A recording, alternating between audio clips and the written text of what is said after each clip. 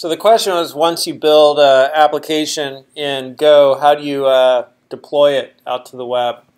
And you have uh, two options. So the first option is App Engine Super Easy, and you just deploy it to App Engine, and, then you could point a domain towards it.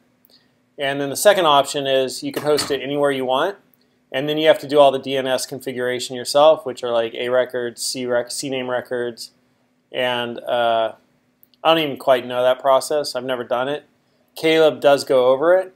So that's day 10, video 3, video 3 or video 4, right? He goes, he goes through that. Um, so for instance, you know, we left off with ROT 13, and uh, here's a static file server. This is all the Go code for a static file server. So if you don't need a dynamic website, that's all you need right there. And then if I run this,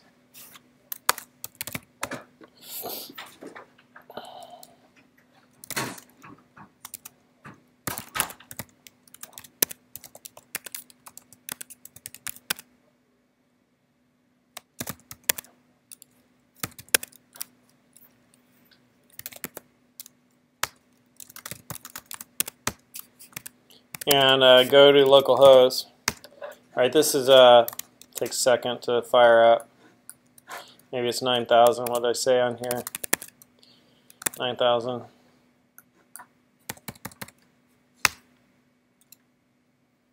Static. That's serving everything. All right. And then if I want to deploy that, I do the app engine deploy, which we'll see in a second. But then I go into Google Domains. I didn't show this in this class. And, uh, and so you buy a domain at Google, and then you just go in and configure the DNS, and you just point it towards your App Engine project ID, and it does the rest for you.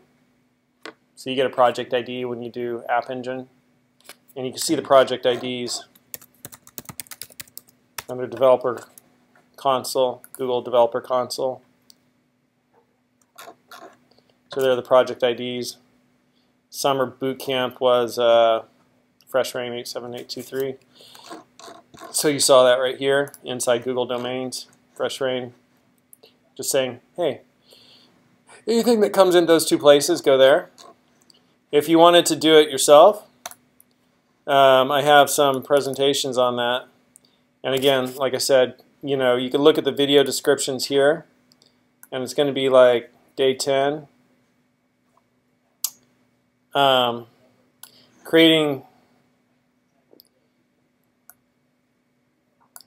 just looking.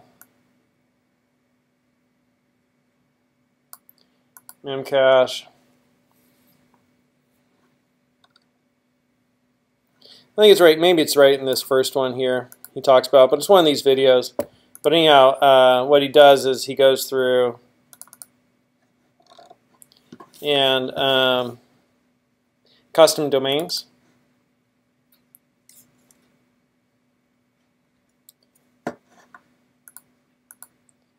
So you could also go into Google Developer Console and once you open it up, which is what this looks like. So I'm in here and I say, hey, I want to look at Web Programming Summer Bootcamp. You can see I'm now in Web Programming Summer Bootcamp. And this gives me all the options for App Engine and you can come in here and you could look at compute, app engine, you could look at your quota details, um, you could look at settings. I know, so a lot, a lot of stuff in here. And then you could also uh, look at, uh, well, the settings is where you do it, so let's, let's just look at that. I'm like scrolling all over the place. Where did it go? Right here. Settings and uh, custom domains.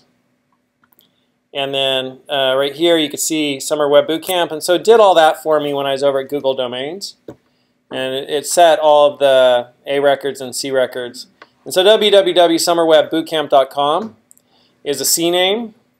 And it, uh, I'm not sure what exactly that means, googlehosted.com, so maybe Google resolves that.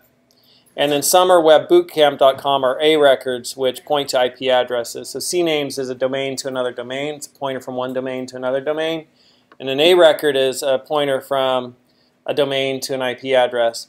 So I guess you know what this is saying is the www is not part of the domain. Part of the domain is the the name, and then the TLD, the top level domain, the .com, right? And so if I want www Summer Web Bootcamp, that's going to point back basically to Summer Web Bootcamp. It's somehow doing that through Google. And uh, if I wanted like, you know, uh, I don't know, email. or practice, right? Or you know, um, attendee.summerbootcamp.com. I'd create that and then I'd point it back to here and then handle that, right? So people could go to attendee.summerwebbootcamp.com. So that'd be another C record. So you set them that way. And uh, we watched Caleb do his own, right? Not doing the, the Google Domains route. And so here's Caleb's for Twitter mock. And he added a custom domain, so clicked Add Custom Domain. And then he said, you know, okay, I want the domain to be uh, bootcamp-example dot. So he's adding a prefix to his domain. His domain is doxsey.net, and he had to verify that, right? So the first thing he did was verify that domain. So it says, you know, like prove this is your domain. Go put this code on your home page or something, and then it checks, okay, you're able to do that. You must own that domain. So he's adding this prefix route path, whatever, to it. So that's going to be a what, an A record or a C record based upon what C name record just based upon what you just learned? C name, right? So it's going from a domain to a domain. Canonical is what C stands for. And uh, and then he had to come over to like you know whatever his registrar where his domain is managed, the domain, and he had to change the the A record and the C record stuff manually. You could do this at Google Domains too. He happens to use Cloudflare. And so he went in and uh, said, hey, this is going to be a CNAME. And uh, a bootcamp example is an alias of, and you can see he put in the same thing here.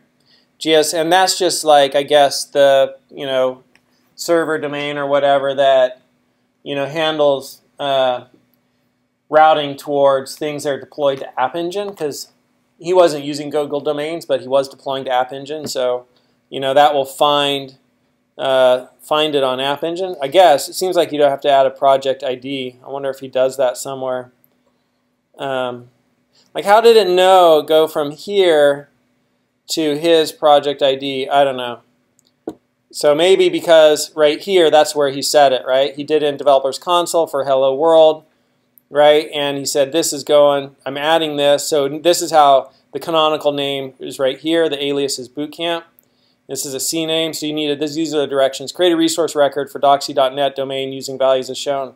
CNAME, alias bootcamp, canonical, that. And so right here, when he did this, somewhere at googlehosted.com, they made a record that when somebody goes to here, it's going to this project. Set, select the domain you want to point to astute curve. Right, that's where that setting got made. And so he just came over here and he said, okay, here's, you know, bootcamp dash example. This is all for doxsey.net and we're pointing it towards that domain. And so when that comes in, right, somebody comes in with that request, it serves back that project. So same thing, not too bad. And then when you, you run it, bootcamp-example doxsey.net, right, it serves that App Engine project. So that's, a, that's running on App Engine. If you wanted to deploy it to just your own without App Engine, if you wanted to deploy it just to your own you know, like get a virtual machine, install Ubuntu on it. Uh, you, ha you, you have everything you need to do that, right? Like it just compiles down to binary. It's got your server-side programming and your and your server all built together, and then you just run that. But you have to configure, you know, some things which again I've never done, but Caleb went through it, and uh, you can look through this list of videos for, you know, I'm just going to search for Ubuntu and see if something comes up. Nothing. Let me search for Linux. Nothing. And uh, what else might uh, he have mentioned that I would have made a note of when I was watching the video? Um, maybe virtual, virtual machine. So uh, here we go.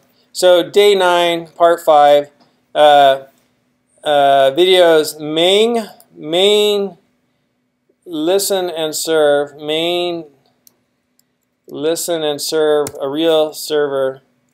That's not really making sense. Set port 80. So yeah, air, so you have to. So how do you put this onto? Uh, how do you put this on to, you know, um, so main and, maybe that's what I meant to type, main and listen and serve are, are a real server, right?